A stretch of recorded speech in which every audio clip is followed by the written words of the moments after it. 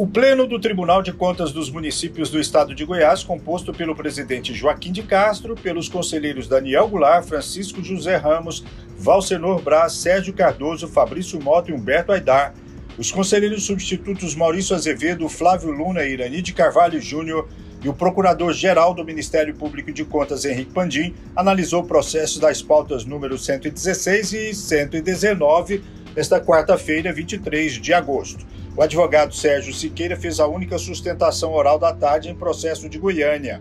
A sessão foi transmitida pelo YouTube e pode ser revista no site do tribunal. TCM, o tribunal a serviço da sociedade.